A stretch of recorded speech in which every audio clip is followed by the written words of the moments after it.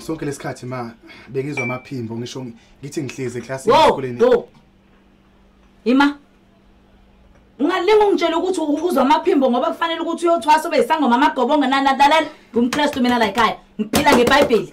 Ma a- akusiyona lento oyicabangayo. Bengizwa amaphimbo amaphupho ami ma. Yazi sonke lesikhathi akakaze kuphela ukuthi ngithanda i-art ma. Ngaso sonke isikhathi ng- ngizizwe ngathi ngingaba se-stage ngizizwe ngathi ngenza into engiyithandayo ma.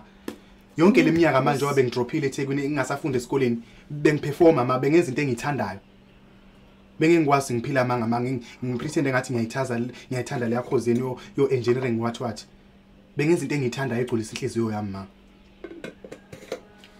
awumeke imake mfana wami ngifuna ungichazele kahle ukuthi kuyo yonke lento yakho wa- wa- wa- waperforma wa- wangaperformi i- i- i- khona imali oyitholayo ngayonke cha a- ayikho ma imali engitholayo amen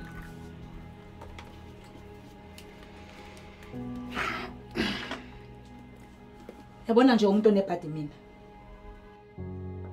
Umuntu onebhadi mina angazi ukuthi unkulunkulu wayengizweni? A- a- angazi ngoba ngiyathandaza ngiyamqona unkulunkulu. Wayekade engizweni ngabantwana bami bebabili nje vo. Akekho nje umuntu o- o- onomqondo wenza into esile.